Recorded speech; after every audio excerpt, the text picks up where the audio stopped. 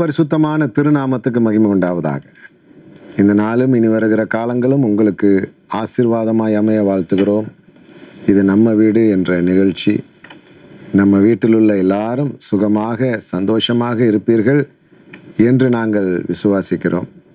கர்த்தராகி இயேசு கிறிஸ்துவுடைய வருகை மிக மிக சமீபம். உலகத்திலே எட்டாவது ராஜ்யமாகிய அந்தி கிறிஸ்துவின் ராஜ்யம் தொடங்கப்படவே போகிற இந்த கடைசி காலம். எனவே தான் இந்த ஏந்தில் தொலைக்காட்சி அருமையான சாத ஐயா அவர்கள் இயேசு கிறிஸ்துடைய வருகையை குறித்து அந்த வருகைக்கு முன்பதாக எப்படியாவது ஒரு கூட்ட மக்களை அக்கினியிலிருந்தாவது மீட்டு எடுக்க வேண்டும் என்று அரும்பாடுபட்டு பிரயாசப்படுகிறார்கள். அந்த ஊழியத்தில் இணைந்திருக்கிற நம்முடைய வீட்டு குடும்பத்தினர் ஒவ்வொருவரும் நீங்கள் பாக்கியம் உள்ளவர்கள் இன்றைக்கும் வாருங்கள் வசனத்தை தியானிப்போம் கர்த்தர் உங்களை ஆசிர்வதிப்பார். பரலோகத்தில் யார் பெரியவங்க என்பதை குறித்து நாம் பார்க்கிறோம். அறியணும் அறிந்து கொள்ள வேண்டும். இயேசுவாமி இடத்திலே மத்தேயு பதினெட்டாம் அதிகாரம் ஒன்று முதல் நாலு வரை உள்ள வசனங்களிலே கூடியிருக்கிற மக்கள் மத்தியிலே போய் திடீர்னு இயேசுவாமியை பார்த்து கேட்குறாங்க பரலோக ராஜ்யத்தில் யார் பெரியவராக இருப்பார்கள் இல்லை எப்படி நான் பரலோக ராஜ்யத்தில் பெரியவனாவது எப்படி? இப்போ இயேசுவாமி கோவப்படாமல் எரிச்சல் அடையாமல் மனப்பூர்வமாக சொல்லி கொடுக்குறாரு. இப்படி செய் வந்துடுவேன் நீயும். அப்போ இயேசுவாமி இடத்துல ஒரு நல்ல குணம் இருக்கிறது. எல்லாரும் என்ன போல வந்துடணும் அப்படின்னு விரும்புகிறார் அதனால தான் அவர் சொல்கிறாரு என்னை விசுவாசிக்கிறவன் நான் செய்த கிரிகளை தானும் செய்வான் அதை விட பெரிய காரியத்தையும் செய்வான். அப்போ யாத்ராமம் முப்பத்தி நாலு பத்தில் என்ன சொல்லியிருக்கு? இதுவரைக்கும் எந்த ஜனத்தாரிடத்திலும் நடந்திராத அதிசயங்களை உன்மூலமாக செய்வேன். அப்போ பைபிள் வாய்ப்பு கொடுக்குது நமக்கு. நிறைய சான்ஸ் கொடுக்குது. நிறைய வாசலை திறந்து கொடுக்குது. நீ செய் வா முன்னேறி வா. நல்ல ஒரு ஆசிரியராக இருந்தால் அப்படி தான் செய்வாங்க. அவன் எந்த துறையில் அவனுக்கு வந்து நல்ல ஆர்வம் இருக்கிறதோ அந்த துறையில் அவனை வளர்த்து விடுவாங்க. வா மேலே வா உன்னால் முடியும் உன்னால் முடியும். அதே தான் நம்முடைய ஆசிரியராகிய இயேசு. எந்த ஒரு கூச்சமும் இல்லாமல் இவனை விட்டால் நம்மளே காலி பண்ணிடுவான் போல இருக்கு என்ற எண்ணம் இல்லாமல் நீ வாயா உன்னால் முடியும் என்று சொல்லி சொல்கிறதில் விட எல்லாரும் வரலாங்கிறாரு அதுதான் விஷயம். எந்த ஒரு பட்சபாதம் இல்லாமல் எந்த ஒரு இவங்க தான் வரணும் இவங்க தான் வரணும் அப்படின்னு எல்லாம் வராமல் யார் வேண்டுமானாலும். அதனால தான் ரோமர் நாலு இருபத்தி மூணு இவ்விதமாக சொல்லுகிறது. இந்த வசனங்கள் எல்லாமே அவர்களுக்கு மாத்திரமல்ல நமக்காகவும் எழுதப்பட்டிருக்கிறது. நிறைய பேர் சொல்லுவாங்க இல்லையா அது ஏசு சீஷருக்கு சொன்னது. நீ ஏன் போய் அதை போய் கேட்குற? அப்படின்னு சொல்லி நிறைய பேர் பேசுவாங்க. அது ஆபரகாமுக்கு ஆண்டவர் சொன்னதை நீ போய் உனக்கு சொந்தமாக எப்படி எடுப்ப? அப்படி சொல்லுவாங்க. அது யூதர்களுக்கு கடவுள் சொன்னதை நீ போய் எப்படி எடுப்ப? அப்போ நான் திரும்ப எப்படி கேட்குறேன் அப்படின்னா அப்போ கர்த்தரன் மேய்ப்பராக இருக்கிறார் நான் தாழ்ச்சி அடைவேன். அது யாரோ யாருக்கு சொன்னது நீ போய் எப்படி எடுப்ப? என் பாத்திரம் நிரம்பி வழிகிறது என் ஜீவனுள்ள நாட்கள் எல்லாம் நன்மையும் கிருபையும் என்னை தொடரும். அது யாரோ யாருக்கோ சொன்னது நீ எப்படி எடுப்ப? இல்லையா? உனக்கு வேண்டியதெல்லாம் நீ எடுத்துக்கிற.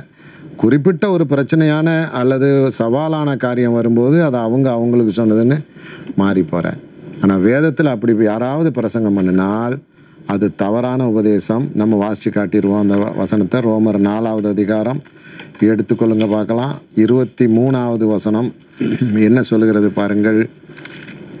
அதை ஆழமாக கவனமாக நம்ம வாசித்து சிந்திக்க நமக்கு கர்த்தர் அருள் புரிவாராக. இருபத்தி மூணாவது வசனம். அது அவர் அவனுக்கு நீதியாக எண்ணப்பட்ட அது அவனுக்குன்னு சொல்லுகிறது ஆபிரகாமுக்கு. அது ஆபிரகாமுக்கு நீதியாக எண்ணப்பட்டது என்- என்பது அவருக்காக மாத்திரமல்ல. ஆபிரகாமுக்காக மாத்திரமல்ல. நமக்காகவும் நமக்காகவும் எழுதப்பட்டிருக்கிறது. அதே காரியத்தை தான் ஒன்று குறைந்தர் பத்தாம் அதிகாரம் பதினோராவது வசனத்தில் வாசிக்கிறோம். அது கூட வாசிக்க வேண்டாம் நமக்கு. இதே தான் இருக்கு. அது ஆபிரகாமுக்கு சொல்லப்பட்டது ஆபிரகாமுக்கு சொல்லப்பட்டது இல்லை எனக்காக சொல்லப்பட்டது. நமக்காக சொல்லப்பட்டது. இல்லையா? அப்போ வேதத்தில் ஆதி ஆமத்தில் இருந்து வெளிப்படுத்தின விசேஷம் வரைக்கும் நீங்கள் இந்த பக்கம் வாசித்தாலும் அந்த பக்கம் வாசித்தாலும் ஒவ்வொரு வார்த்தையும் அவர்களுக்காக மட்டுமல்ல நமக்கு. நமக்காகவும். எபிரேயரில் எழுதுறாங்க இல்லையா? அது அவர்களுக்கு எச்சரிப்பு உண்டாகும்படி சொல்லப்பட்டது. உலகத்தின் முடிவு காலத்தில் இருக்கிற நமக்கோ அது நமக்காக எழுதப்பட்டது அப்படின்னு ஒன்று குறைந்தர் பத்து பதிமூணில் நம்ம வாசிக்கிறோம். எனவே கர்த்தராகிய இயேசு கிறிஸ்து சொல்லுகிறார் பரலோகத்தில் யார் பெரியவராக இருக்க வேண்டுமோ வாங்க வாங்க வாங்க வாங்க வாய்ப்பு கிடைக்க வாங்க வாங்க. அப்போது நல்லா யோசித்து பார்த்தீங்கன்னா உலகத்தில் ஒரு எழுபது வருஷம் கூடி போனால் எண்பது வருஷம் இல்லை ஒரு ஐநூறு வருஷமே வாழ்ந்துருங்களேன் நீங்கள் மெத்துசலா மாதிரி தொள்ளாயிரம் வருஷத்துக்கு மேலே வாழ்ந்துட்டா கூட இது நிரந்தரமற்றது. இதுக்காக மனுஷன் எவ்வளோ பிரயாசப்படுறோம்? வேலைக்காக உழைக்கிறோம் இப்போ எனக்கெல்லாம் நிறைய பேரை தெரியும். காலையிலே எந்திரிச்சு ஒரு ஷிஃப்ட்டு போவாங்க. அடுத்து படிக்க போவாங்க. அடுத்து வந்து இன்னொரு வேலைக்கு போவாங்க. சாயங்காலம் பதினோரு மணிக்கு வந்து படுப்பாங்க. எதுக்கு தம்பி இவ்வளோலாம் பிரயாசப்படுறீங்க அப்படின்னா அங்கிள் ஒரு லெவலுக்கு வரணும் அங்கிள் இன்னொரு அஞ்சு வருஷம் பத்து வருஷத்தில் நான் பெரிய ஆளாக வரணும். அப்படிங்கிறதுக்காக. சரி பெரிய ஆளாக வாங்குறது ரொம்ப சந்தோஷம். உழைக்கிறது ரொம்ப சந்தோஷம். அதுவும் முயற்சி ரொம்ப சந்தோஷம். இவையெல்லாம் ஒட்டு மொத்தமாக எண்ணத்தை காட்டுது நமக்கு? இவர் வந்து ஒரு காரோட பங்களாவோட ஒரு நல்ல குடும்பத்தோட வாழணும்னு ஆசைப்படுறார். எவ்வளோ வருஷம் வாழ்ந்துட முடியும்? கொஞ்சம் வருஷம். இதுக்கே எவ்வளோ பிரயாசப்படுறாரு? யுக யுகமாய் வாழ போகிறோம். நித்திய நித்தியமாய் வாழ போகிறோம். முடிவில்லாத வாழ்க்கை வாழப்போகிறோம் முதல்ல ஒரு ஆயிரம் வருஷம். அதன் பின்பு யுக யுகமான வாழ்க்கை. இதில் கர்த்தர் சொல்கிறாரு நான் எல்லாருக்கும் வாய்ப்பு தரேன் வா. யார் வேணாலும் வா பெரிய ஆள் ஆகலாம் உயரலாம் மேன்மையாக வரலாம். அப்போ ஒரு ஒரு கூட்டம் சூரியனைப் போலவும் நட்சத்திரத்தைப் போலவும் பிரகாசிக்கிறவர்கள் அது இன்னொரு கூட்டம் வந்து அழுது கொண்டு தாகத்தோடு இருக்கிறவர்கள். மறுமையில். இப்போ நம்ம அந்த பெரியவன் இதுல ரெண்டு இது சொன்னீங்க எப்படி அந்த பெரியவன் தகுதிக்கு பெறணும்னு. ஆமாம் எப்படி சொல்லுங்க? முதல்ல வந்து முதல்ல வந்து ஐந்து பத்தொம்போது மத்தேயு. வசனத்தை கை கொண்டு போதிக்கணும். ஆமென். கை கொள்ளணும் போதிக்கணும். பிரசங்க மேடையில் போதிக்கிறது மட்டும் இல்லை நம்ம வீட்டிலேயே போதிக்கணும். பிள்ளைகளுக்கு போதிக்கணும். பேர பிள்ளைகளுக்கு போதிக்கணும். தப்பு தப்புன்னு சொல்லணும். இல்லை சொன்னால் கோச்சிக்கிருவாங்க பிரதர். கோய்க்கட்டும். இல்லை நீங்கள் ரொம்ப தப்பு அப்படின்னு சொல்லி சொன்னீங்கன்னா சாம்பார் ரசம் ஆகும் பரவாயில்லையா? ஆகட்டும். அதுக்கு மேலே கொஞ்சம் தண்ணி ஆகும். ஆகட்டும். பிரச்சனை இல்லை. ஆனால் கை கொண்டு போதிக்கணும். கை கொண்டு போதிக்கும் போது அந்த வசனத்தை யாரும் எதிர்க்க முடியாது. ஏன்னா அவர் பொய் சொல்ல மாட்டார் பொய் சொல்ல வேண்டாம் என்று சொல்லுகிறார். அப்போ அந்த வசனம் பயங்கர வல்லமையாக போய் ஒரு மனிதனை தாக்கணும் அப்படின்னா கை கொண்டு போதிக்கணும். அது ஒன்று அடுத்து. சிறு பிள்ளையை போல கள்ளங்கபடம் கள்ளங்கபடம் இல்லாமல் மாறணும். சூதுவாது இல்லாமல் மாறணும். கற்றுக்கொள்ளுகிற எண்ணத்தோடே இருக்கணும். எதையும் கற்றுக்கொள்ளணும். இது என்னது இப்போ டேடி அப்படி கேட்கும். அது நானும் அங்கே போகணும் டேடி. அது எதை சொன்னாலும் நம்பும். அந்த மாதிரி ஒரு சூதுவாது இல்லாத சுத்த இருதயமாக நீங்கள் மாறுகிற பொழுது பரலோகத்தில் பெரிய ஆளாக வந்துடலாம் பரலோகத்திலேயே பெரிய ஆள் அப்படின்னா அந்த அந்தஸ்து மிக பயங்கரமானது. அந்த அந்தஸ்தில் வந்து பரலோகத்தில் பெரிய மனிதர் என்று ஒருவர் போவாரானால் அவரை சூழ புடை சூழ பல பராக்கிரமசாலிகள் போவார்கள். அங்கே பாதுகாப்புக்கு தேவையா அப்படின்னெல்லாம் குறுக்கு கேள்வி கேட்கக்கூடாது. ஏன்னா லூசிஃபர் அங்கே பரலோகத்தில் இருந்ததே அவனுடைய வேலை பாதுகாக்கிறதுக்காக நியமிக்கப்பட்ட கேரூப் பரலோகத்தில் எதுக்கு பாதுகாப்பு? அங்கே பாதுகாப்புக்குன்னு இருக்குது அது ஒரு அது ஒரு அரசாங்கம். அதுக்கு ஒரு பாதுகாப்பு படையில் இவர் தான் தலைவர் இவன் விழுந்து போகிறதுக்கு முன்னால். எசேக்கியல் இருபத்தெட்டாவது அதிகாரம் ஏசாயா பதினாலாவது அதிகாரம். இல்லையா? நம்ம வேற ஒரு நாள் நம்ம பார்ப்போம். அப்போ எதுக்கு பரலோகத்தில் எதுக்கு பாதுகாப்பு படை எதுக்கு? அப்படின்னு நம்ம எல்லாம் கேட்க முடியாது. நம்முடைய ஞானம் ரொம்ப குறுகியது. பரலோகத்தை குறித்து ஒரு கடுகளவு கூட நம்ம இன்னும் அறியவே இல்லை. அதனால தான் மத்தேயோ பதிமூணு ஐம்பத்தி ரெண்டாம் அடிக்கடி நான் சொல்லுவேன் கற்று தேறணும். பரலோகத்துக்கு அடுத்தவைகளை உபதேசிக்கப்பட்டு தேறின அப்படின்னு சொல்லியிருக்குது. கற்றும் தேறணும் உபதேசிக்கவும் தேறி இருக்கணும். சரியா? அப்போ பரலோகத்தில் மிக பிரம்மாண்டமான ஒரு ஒரு ஊர்வலம் கான்வாய் மாதிரி வரும். ஒரு மனுஷன் பெரிய மனுஷன் இருந்தா. அவன் பெரியவனாக இருந்தா. உதாரணத்துக்கு நம்ம மோசை எடுத்துக்கிறலாம். மோசை எல்லாம் ஒரு வீதியில் போனார் அப்படின்னா பயங்கரமான மக்கள் பின்னால் அவருக்கு பாதுகாப்பு படை அவருக்கு உதவி செய்கிறதுக்கு ஜனங்கள் அவருக்கு வேண்டிய ஆடம்பரத்துக்கு வேண்டிய காரியங்கள் கம்பீரங்கள் பல காரியங்கள் போகும் அந்த அவர் அவர் முகத்தையே பார்க்க முடியாத அளவு சூரியன்னா டிட்டோ சூரியனாகவே அவர் இருப்பார். இந்த பைபிள் அழகாக இருக்குது. அப்போது அவர் போகிறார் உதாரணத்துக்கு சொல்கிறேன் மோசே அப்படின்னா அந்த மனிதன் போகும்போது வெளிச்சம் பிரகாசிக்கும்.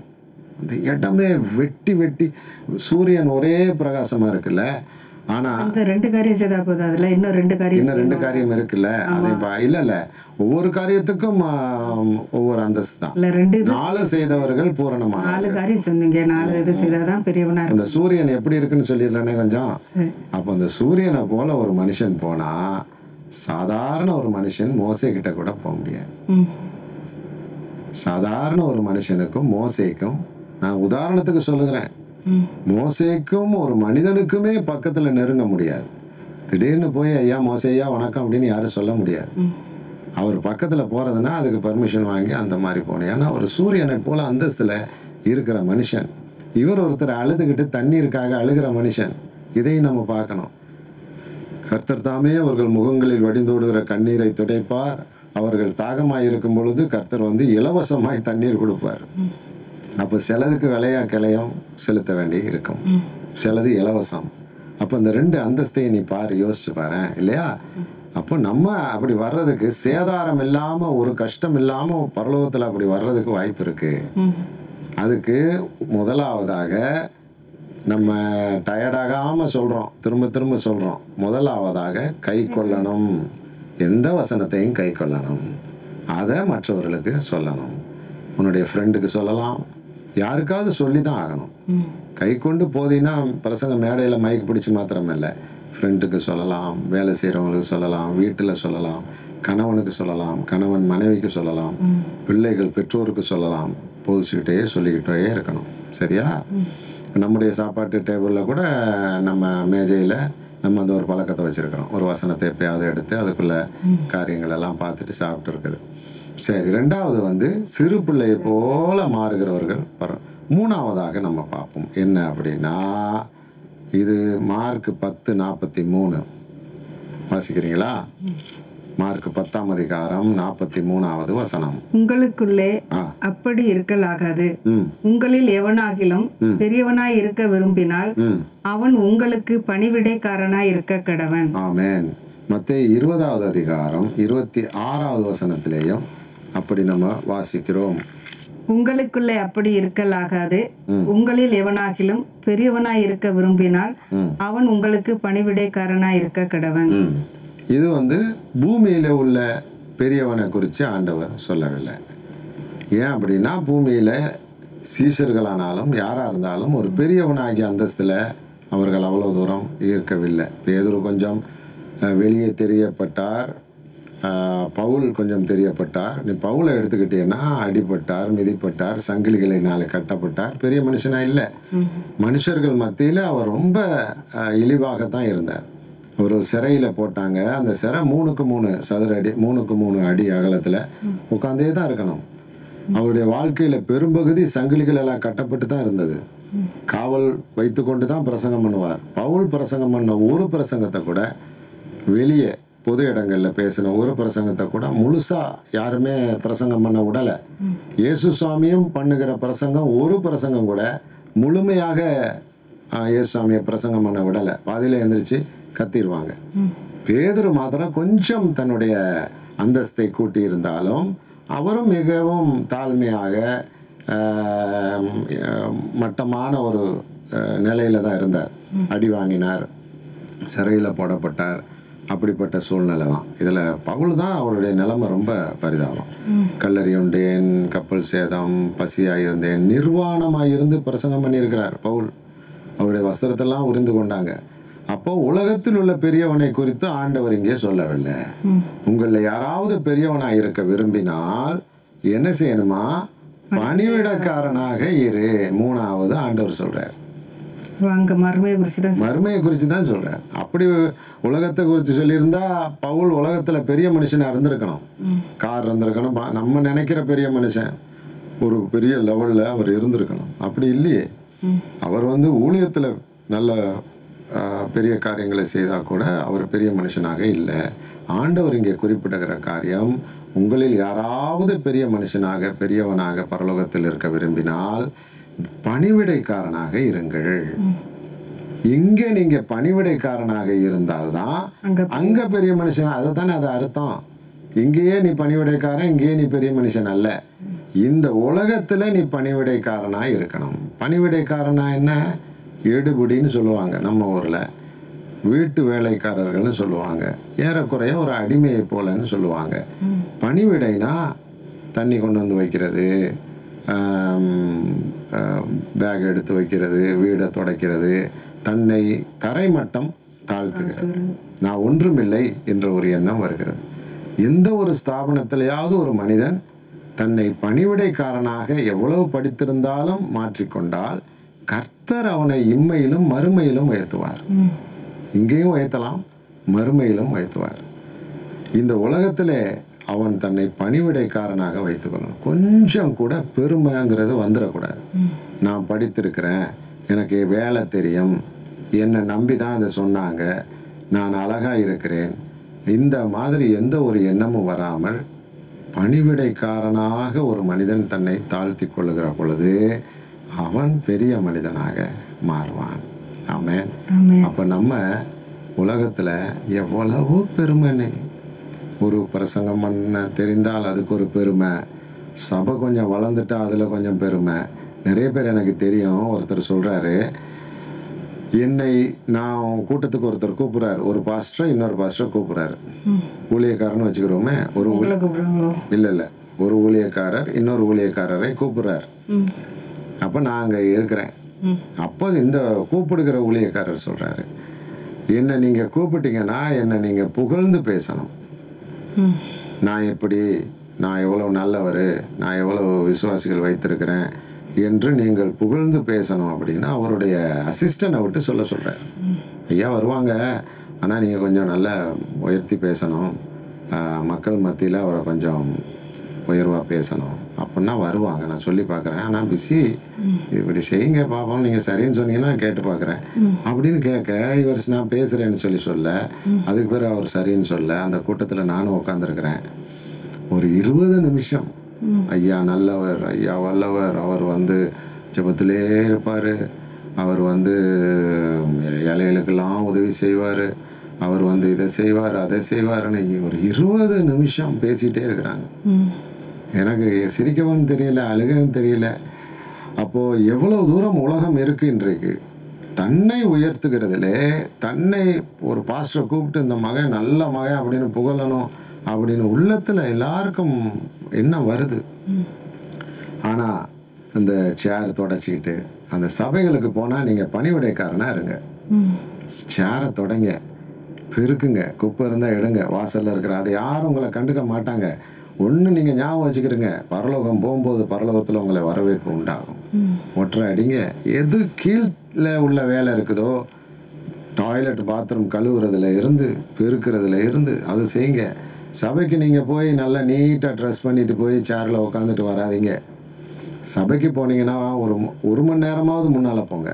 காலையில் அஞ்சு மணிக்கு எழும்புறத நாலு மணிக்கு எழும்புங்க. ஒரே ஒரு நாள். எலும்பி பரட்டு போகவே ஒரு மணி நேரம் அப்போ அதுக்கு முன்னாலே எழும்புங்க. போன உடனே பாருங்கள் குப்பை இருக்குதா? பேப்பர் இருக்கா? தண்ணி இருக்குதா? டேபிள் சரியாக இருக்கா? சேரெல்லாம் ஒழுங்காக இருக்கா? பாஸ்டர்டெல்லாம் நீங்கள் இப்போ பாஸ்டர் பார்க்கவே வேண்டாம். மைக்கு சரியாக இருக்கா? தூசியாக இருக்கா? அந்த புல்பீட்டெல்லாம் இது செய்யணுமா? ஏதாவது செய்யணுமா? ஏதாவது செய்யணுமா?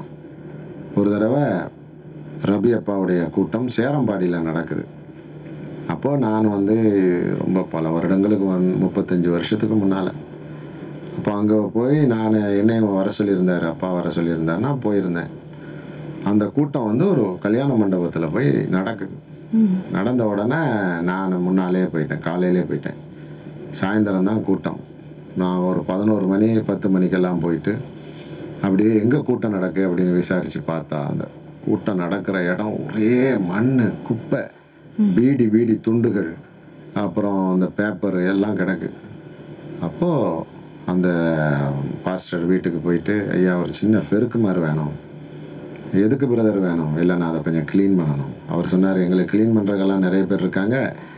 பணம் இருந்தால் நீங்கள் உதவி செய்வீங்க உங்கள்கிட்ட பணம் இருந்தால் தந்துட்டு போங்க. அதெல்லாம் நாங்கள் பார்த்துக்குறோம் அப்படின்னு சொன்னார். கடைசி வரைக்கும் பெருக்கவே இல்லை.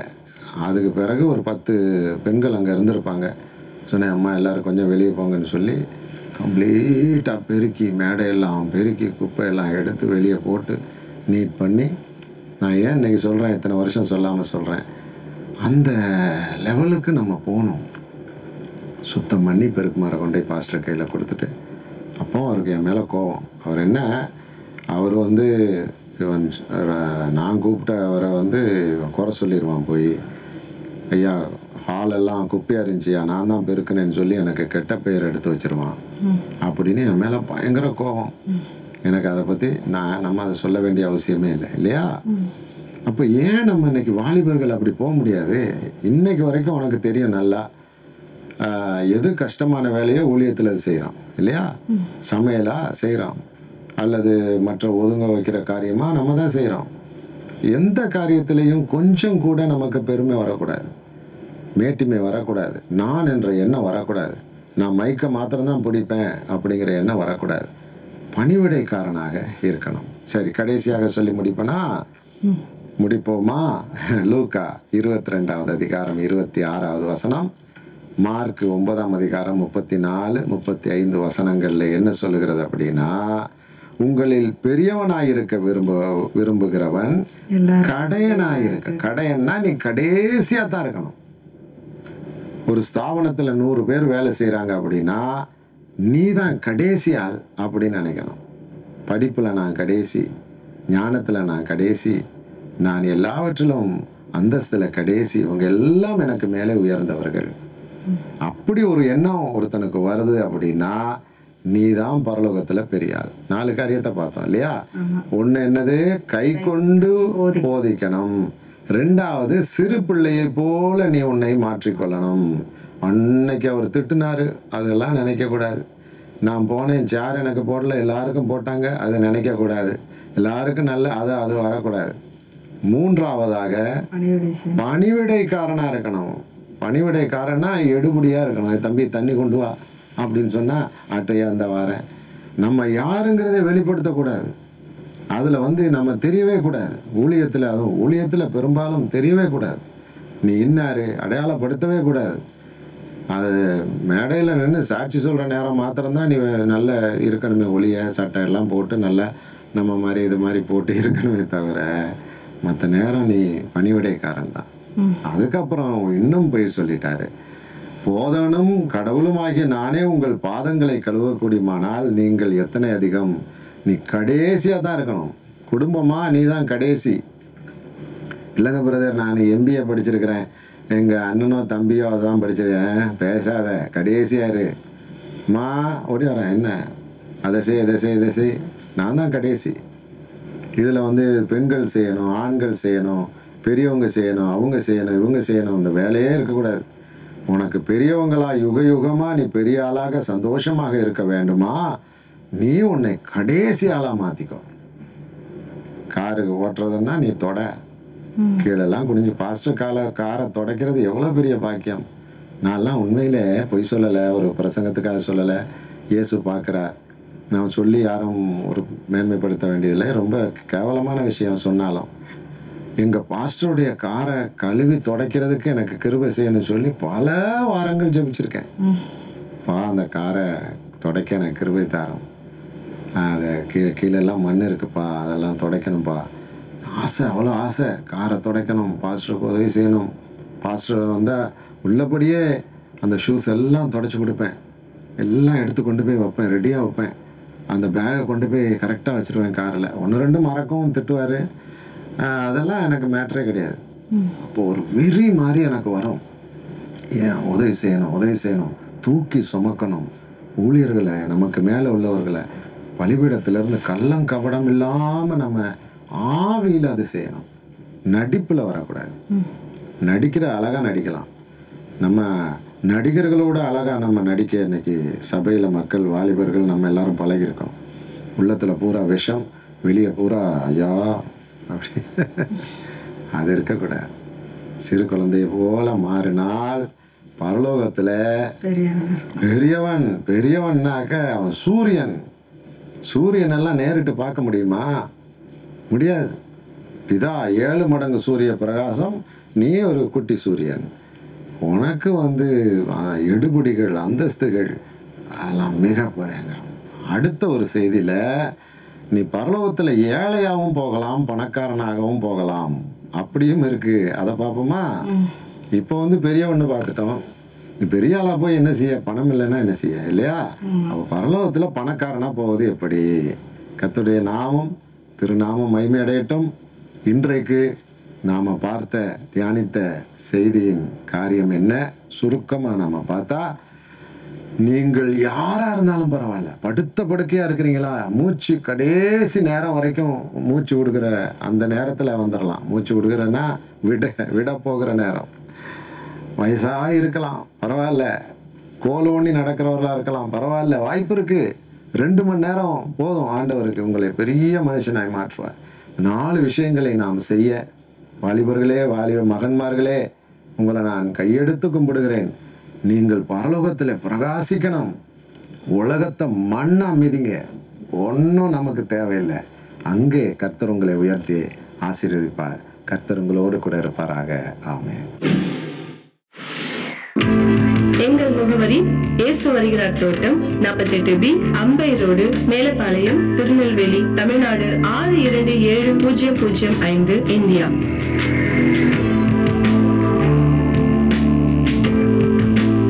எங்கள் தொடர்புக்கு பூஜ்ஜியம் நான்கு ஆறு இரண்டு இரண்டு மூன்று ஐந்து மூன்று மூன்று ஏழு மூன்று மற்றும் பூஜ்ஜியம் நான்கு ஆறு இரண்டு இரண்டு மூன்று ஐந்து ஒன்று மூன்று ஐந்து இரண்டு. எங்கள் மின்னஞ்சல் முகவரி Paul at Jesus comes dot net